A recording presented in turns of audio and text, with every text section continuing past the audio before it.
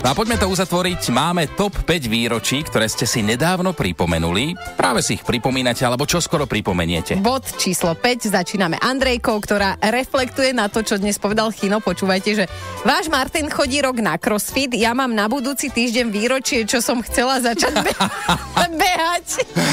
Výborne, výborne, Andrejka. Rok, čo chcela začať behať, no. Na štvorke je dnes Marek. 31.12. to bude presne rok, čo som si dal záväzok, že prestanem fajčiť, mm. začnem sa zdravo stravovať, začnem cvičiť a teraz koncom roka to bude prvý rok, čo budem oslovať, že všetky tieto záväzky, ktoré som si dal, som nesplnil a môžem si ich kľudne nechať na ten ďalší rok.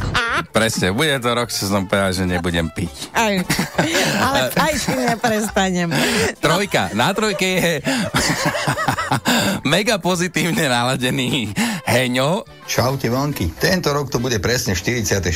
výročie, čo oslavím Vianočné sviatky. Možno si pamätám len tých posledných 40, ale všetky boli skvelé. Vďaka mojej rodine a blízkym sú to vždy tie najkrajšie sviatky v roku. O pár dní je tu Miki a preto všetkým prajem krásne Vianočné obdobie, plné radosti, lásky a pokoja. Lebo pre mňa už 46 rokov, také je. PS, to 50. výročie bude dúfam aj z oldiskou rádia vlna. Pekný deň prajem. Ale... Ja milujem, keď sa chlap dokáže, dospelý chlap tešiť z takýchto vecí. Super. Fakt, že super, Heňo, zdravíme ťa. Miesto číslo 2 v dnešnej top 5 patrí Joškovi, ktorý sa pripravuje na 44.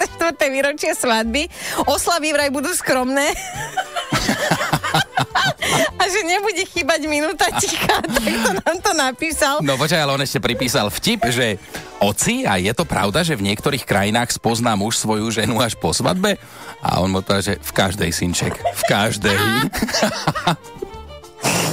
zo života, neskutočne zo života. Strašne parádny ste dnes, no a na jednotke je dnes Slávka.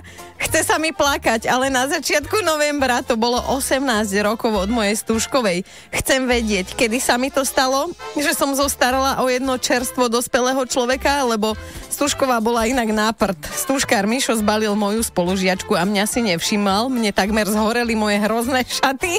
Vo vlasoch som mala gíčovú rúžu Aha. a naši sa pri stole tak pohádali, lebo otec podľa mami neznesiteľne mliaskal a robili hambu. Top 5 na dnes. Vaše veselé ráno už od 5. na vlne.